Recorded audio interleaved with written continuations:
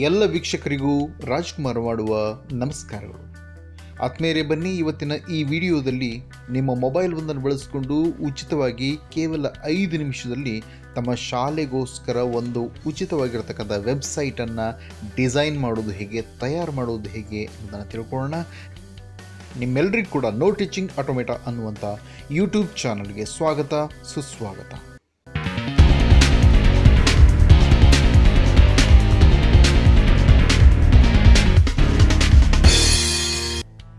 ಆದ್ಮೇಲೆ ವೆಬ್ಸೈಟ್ ಯಾಕೆ ಅದನ್ನು ತಯಾರಿಸೋ ಅಗತ್ಯತೆ ಇದೆಯಾ ಅಂತಕ್ಕಂಥ ಮೂಲಭೂತವಾದ ಪ್ರಶ್ನೆ ನಮ್ಮೆಲ್ಲರಲ್ಲೂ ಕೂಡ ಮೂಡ್ತಕ್ಕಂಥ ಸಹಜ.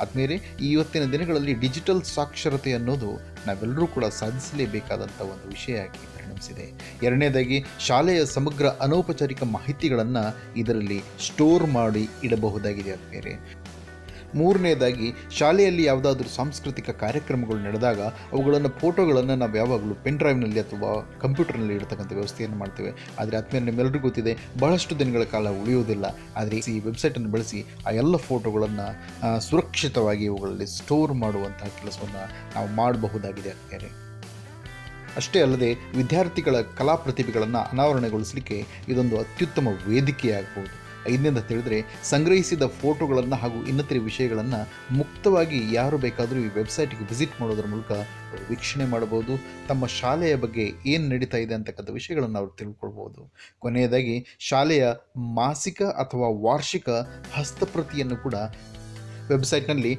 ಪಬ್ಲಿಷ್ ಮಾಡಬಹುದಾಗಿದೆ ಆತ್ಮೀಯರೇ. ಬನ್ನಿ ಹಾಗಾದರೆ, ತಡ ಮಾಡದೆ ತಿಳ್ಕೊಳ್ಳೋಣ. ವೆಬ್ಸೈಟನ್ನು ಉಚಿತವಾಗಿ ಡಿಸೈನ್ ಮಾಡೋದು ಹೇಗೆ ಅಂತ. ನಿಮ್ಮ ಮೊಬೈಲ್ನಲ್ಲಿ ಪ್ಲೇಸ್ಟೋರ್ ಅಂತ ಇರತಕ್ಕಂಥ ಆ್ಯಪನ್ನು ಕ್ಲಿಕ್ ಮಾಡಿ. ಅದ್ಮೇಲೆ ಅದರ ಸರ್ಚ್ ಬಾಕ್ಸ್ನಲ್ಲಿ W double E B L Y ಅಂತ ಹೇಳಿದ್ರೆ ವಿಬ್ಲಿ ಅಂತ ಟೈಪ್ ಮಾಡಿ ಸರ್ಚ್ ಅಂತ ಕೊಡಿ ಅದ್ಮೇಲೆ.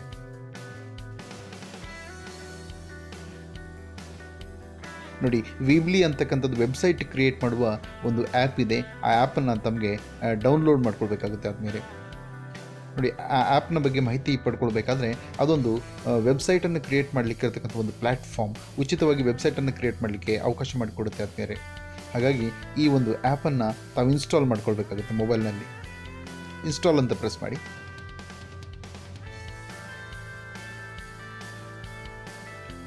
ಆದ್ಮೇಲೆ ಡೌನ್ಲೋಡ್ ಆಗಿ ಇನ್ಸ್ಟಾಲ್ ಆಗ್ತಾ ಇದೆ. ಇನ್ಸ್ಟಾಲಿಗೆ ಅಂತ ಬರ್ತಾ ಇದೆ ನೋಡಿ. ಹೌದು ಇನ್ಸ್ಟಾಲ್ ಆಗಿ ಆಯಿತು. ಆದಮೇಲೆ ನಿಮ್ಮ ಮೊಬೈಲ್ನಲ್ಲಿ ನೀವು ಐಕಾನ್ಗಳನ್ನು ನೋಡಿದಾಗ, ನೋಡಿ ಡಬ್ಲ್ಯೂ ಅಂತ ಒಂದು ಐಕಾನ್ ಬಂದು ಕೂತಿದೆ, ಅದು ವಿಬ್ಲಿ ಡಾಟ್ ಕಾಮ್ನ ಐಕಾನ್, ಅದನ್ನು ಪ್ರೆಸ್ ಮಾಡಿ, ಆ ಆ್ಯಪನ್ನು ಓಪನ್ ಮಾಡ್ಕೊಳ್ಳೋಣ ಆದಮೇಲೆ. ನೋಡಿ, ಇದನ್ನು ಓಪನ್ ಮಾಡಿದ ತಕ್ಷಣ ಈ ರೀತಿಯ ಯೂಸರ್ ಇಂಟರ್ಫೇಸ್ ಸಿಗುತ್ತೆ. ಡ್ರಾಪ್ ಆ್ಯಂಡ್ ಡ್ರಾಗ್ ಎಡಿಟರ್ ಅಂತ ಬರುತ್ತೆ.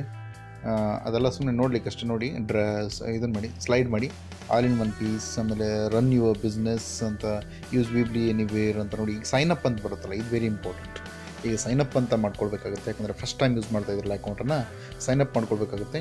ಅಲೋ ಅಂತ ಕೊಡಿ. ಇದನ್ನು ಏನೇ ಬಂದರೂ ಕೂಡ ಅಲೋ ಅಂತ ಕೊಡಿ ಹಾಕಿದ್ರೆ ಈಗ ಸೈನ್ ಅಪ್ ಅಂದಾಗ ಫುಲ್ ನೇಮ್ ಅಂತ ಬರುತ್ತೆ. ನಿಮ್ಮದು ಏನಿದೆ ಆ ಫುಲ್ ನೇಮನ್ನು ಕೊಟ್ಕೊಡಿ. ಹಾಂ ನೋಡಿ.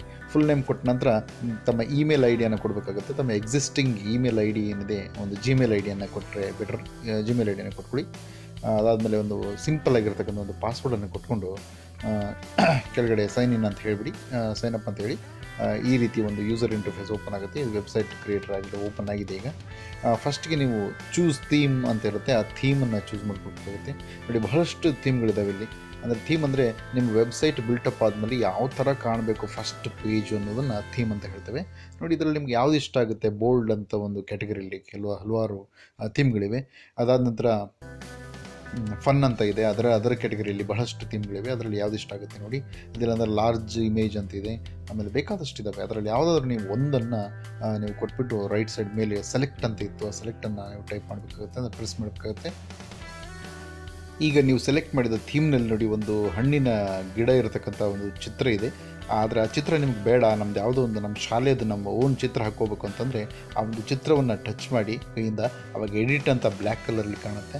ಆ ಎಡಿಟ್ ಅನ್ನೋದನ್ನು ಪ್ರೆಸ್ ಮಾಡಿ ಆದ್ಮೇಲೆ ಪ್ರೆಸ್ ಮಾಡಿದ ನಂತರ ನಾವು ಅದರ ಜಾಗದಲ್ಲಿ ಬೇರೆ ಯಾವುದಾದ್ರೂ ನಮ್ಗೆ, ನಮಗೆ ಬೇಕಾದಂಥ ಓನ್ ಚಿತ್ರವನ್ನು ಸೆಲೆಕ್ಟ್ ಮಾಡಿ ಹಾಕ್ಕೊಳ್ಬೋದಾಗಿದೆ.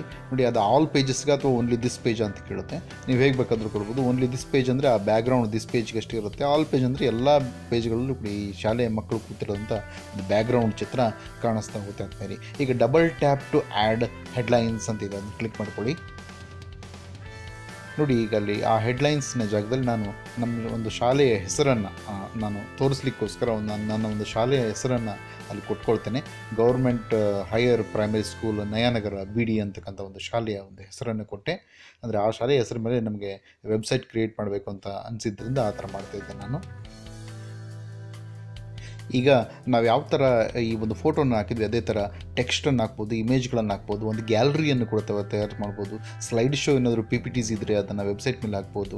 ಡಿವೈಡರ್ ಅಂತ ಇದೆ, ಸ್ಪೇಸರ್ ಅಂತ ಇದೆ, ಬಟನ್ಗಳನ್ನು ನಾವು ಇಲ್ಲಿ ನಾವು ಸ್ಪೆಸಿಫೈ ಮಾಡ್ಬೋದು ನೋಡಿ. ಸರ್ಚ್ ಬಾಕ್ಸನ್ನು ಹಾಕ್ಬೋದು ಎಚ್ ಡಿ ವೀಡಿಯೋಸನ್ನು ಹಾಕ್ಬೋದು. ಯೂಟ್ಯೂಬ್ನಲ್ಲಿ ಯಾವುದಾದ್ರು ವೀಡಿಯೋಗಳಿದ್ದರೆ ಅವುಗಳ ಲಿಂಕನ್ನು ಇಲ್ಲಿ ಪೇಸ್ಟ್ ಮಾಡ್ಬೋದು. ಇಲ್ಲಿ ಬಂದವರು ವಿಸಿಟ್ ಮಾಡಿದವರು ಅದು ನೋಡ್ಬೋದು. ಆ ಥರ ಮತ್ತು ಶೇರ್ ಮಾಡಲಿಕ್ಕೆ ಸೋಷಿಯಲ್ ಐಕಾನ್ಗಳನ್ನು ಇಲ್ಲಿ ಪ್ರೆಸೆಂಟ್ ಮಾಡ್ಬೋದು ನೋಡಿ. ಇಷ್ಟು ಬಹಳಷ್ಟು ಇದರಲ್ಲಿ ಫೆಸಿಲಿಟಿಗಳಿವೆ ಎಲ್ಲ ಫೆಸಿಲಿಟಿಗಳನ್ನು ನಾವು ಹೇಗೆ ಯೂಸ್ ಮಾಡ್ಬೋದು ಅನ್ನೋದ್ರ ಮೇಲೆ ನಾನು ಇನ್ನೊಂದು ವೀಡಿಯೋ ಮಾಡ್ತೇನೆ ಅದಕ್ಕೆ ಅದರಲ್ಲಿ ಎಲ್ಲ ಸವಿವರವಾಗಿ ತಿಳಿಸ್ಕೊಳ್ತಕ್ಕಂಥ ಒಂದು ಪ್ರಯತ್ನವನ್ನು ನಾನು ಮಾಡ್ತೇನೆ. ಆದರೆ ಈಗ ನೋಡಿ, ಮೇಲ್ಗಡೆ ರೈಟ್ ಕಾರ್ನರಲ್ಲಿ ಪ್ರಿವ್ಯೂ ಅಂತ ಒಂದು ಇದಿದೆ ಆಪ್ಷನ್ ಇದೆ. ಅದನ್ನು ಪ್ರೆಸ್ ಮಾಡಿ ಹಾಕ್ತಾರೆ. ಅಂದರೆ ನಮ್ಮ ವೆಬ್ಸೈಟು ಯಾವ ರೀತಿ ಪ್ರಿವ್ಯೂ ಕಾಣುತ್ತೆ ಅಂದರೆ ಕಾಣುತ್ತೆ ಇನ್ನು ಮುಂದೆ ಪಬ್ಲಿಷ್ ಆದ ಅಂತ ಪ್ರಿವ್ಯೂ ನೋಡ್ಬೋದು. ಮೊಬೈಲ್ನಲ್ಲಿ ಈ ಥರ ನಮ್ಮದು ವೆಬ್ಸೈಟ್ ಕಾಣುತ್ತೆ ಅಂತ ತೋರಿಸ್ತಾ ಇದೆ. ಅದ್ರ ಪಕ್ಕದಲ್ಲಿ ಡೆಸ್ಕ್ಟಾಪ್ ಅಂತ ಒಂದು ಐಕಾನ್ ಇದೆ ನೋಡಿ, ಚಿಕ್ಕದಾಗಿ ಲ್ಯಾಪ್ಟಾಪ್ ಥರ ಅದನ್ನು ಪ್ರೆಸ್ ಮಾಡಿ ಡೆಸ್ಕ್ಟಾಪಲ್ಲಿ ಯಾವ ಥರ ನಮ್ಮ ಒಂದು ವೆಬ್ಸೈಟ್ ಕಾಣುತ್ತೆ ಅಂತ ಗೊತ್ತಾಗುತ್ತೆ ಆದಮೇಲೆ ವೆರಿ ವೆರಿ ಇಂಪಾರ್ಟೆಂಟ್ ಮೇಲೆ ನೋಡಿ ಪಬ್ಲಿಷ್ ಅಂತ ಇದೆ. ಆ ಪಬ್ಲಿಷನ್ನ ಪ್ರೆಸ್ ಮಾಡಿ. ಈಗ ನೋಡಿ, ಇದು ವೆರಿ ಇಂಪಾರ್ಟೆಂಟ್ ಸ್ಟೆಪ್ ಈಗ ಚೂಸ್ ಡೊಮೈನ್ ಅಂತ ಹೇಳುತ್ತೆ. ಅಂದರೆ ನಿಮ್ಮ ವೆಬ್ಸೈಟ್ಗೆ ಒಂದು ಹೆಸರನ್ನು ಕೊಡಬೇಕಲ್ಲ? ಯಾವುದು ಒಂದು ಹೆಸರು ಹೆಸರನ್ನು ಕೊಡಬಹುದು ಅಂತ ನೀವು ವಿಚಾರ ಮಾಡಿಕೊಂಡು ಆ ಹೆಸರನ್ನು ಕೊಡಬೇಕಾಗುತ್ತೆ.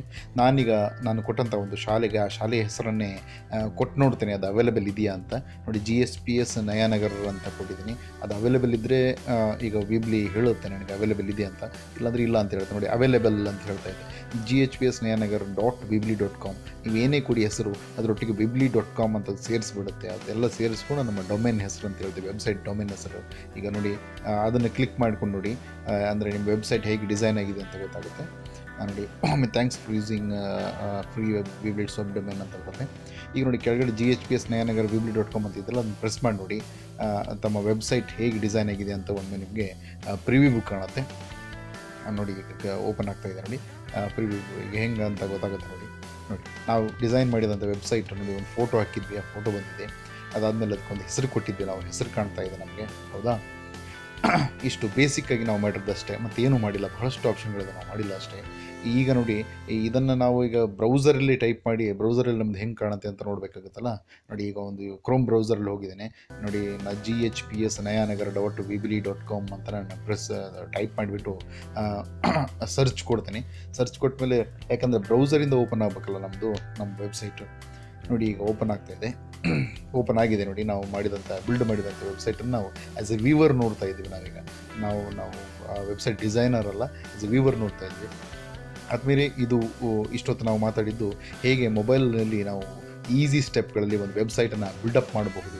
ಆ ವೆಬ್ಸೈಟ್ ಬಿಲ್ಡ್ ಮಾಡಿ ನಮ್ಮ ಶಾಲೆಯ ಒಂದು ಚಿತ್ರವನ್ನು ಹಾಕಿ, ಒಂದು ಶಾಲೆಯ ಪ್ಲ್ಯಾಟ್ಫಾರ್ಮನ್ನು ವೆಬ್, ವೆಬ್ನಲ್ಲಿ ಯಾವ ರೀತಿ ತಯಾರಿಸ್ಬೋದು ಅಂತಕ್ಕಂಥ ವಿಷಯವಾಗಿ ಮಾತಾಡಿದ್ದೇವೆ ಆದಮೇಲೆ ಇದರಲ್ಲಿರುವ ಎಲ್ಲ ಆಪ್ಷನ್ಗಳನ್ನು ಬಳಸಿಕೊಂಡು ಒಂದು ಕಂಪ್ಲೀಟ್ ವೆಬ್ಸೈಟನ್ನು ಹೇಗೆ ಡಿಸೈನ್ ಮಾಡೋದು ಅನ್ನೋದ್ರ ಬಗ್ಗೆ ಇನ್ನೊಂದು ವಿಡಿಯೋವನ್ನು ಮಾಡಿ ಶೀಘ್ರದಲ್ಲಿ ತಮ್ಮ ಮುಂದೆ ನಾನು ಬರ್ತೇನೆ ಆದ್ಮೇಲೆ ನಾನು ಮಾಡಿದಂಥ ವಿಡಿಯೋ ತಮಗೆ ಇಷ್ಟ ಆಗಿದ್ದರೆ ದಯಮಾಡಿ ಸಬ್ಸ್ಕ್ರೈಬ್ ಮಾಡಲಿಕ್ಕೆ ಮರಿಬೇಡಿ. ನೋಡಿ, please press this to subscribe ಅಂತ ಒಂದು ಏನು ಬರ್ತಾ ಇದೆ, ಅದರ ಪಕ್ಕದಲ್ಲಿ ನನ್ನ ಫೋಟೋ ಇರತಕ್ಕಂಥ ಒಂದು ಐಕಾನ್ ಬರುತ್ತೆ. ದಯಮಾಡಿ ಆ ಐಕಾನ್ ಮೇಲೆ ಪ್ರೆಸ್ ಮಾಡಿ, ಸಬ್ಸ್ಕ್ರೈಬ್ ಮಾಡಿ ಅಂತಕ್ಕಂಥ ಮಾತನ್ನು ಹೇಳ್ತಾ ಈ ವಿಡಿಯೋ ಯೂಸ್ಫುಲ್ ಅಂತ ಅನಿಸಿದರೆ ದಯಮಾಡಿ ಇದರ ಲಿಂಕನ್ನು ಯೂಟ್ಯೂಬ್ ವಾಚ್ ಮಾಡುವಾಗಲೇ ಅದರ ಶೇರ್ ಅಂತ ಆಪ್ಷನ್ ಇದೆ. ಆ ಶೇರ್ ಮಾಡಿಬಿಟ್ಟು ತಮ್ಮ ಫ್ರೆಂಡ್ಸ್ಗೆ ವ್ಯಾಟ್ಸಪ್ನಲ್ಲಿ ಗ್ರೂಪ್ನಲ್ಲಿ ಅಟ್ಲೀಸ್ಟ್ ಒಂದು ಎರಡರಿಂದ ಮೂರು ಗ್ರೂಪ್ನಲ್ಲಿ ಶೇರ್ ಮಾಡಿ ನನ್ನ ಚಾನಲ್ ಗ್ರೋ ಆಗಲಿಕ್ಕೆ ಹೆಲ್ಪ್ ಮಾಡಿ ಅಂತಕ್ಕಂಥ ಮಾತನ್ನು ಹೇಳ್ತಾ ಆತ್ಮೀಯರೇ. Thanks for watching see you soon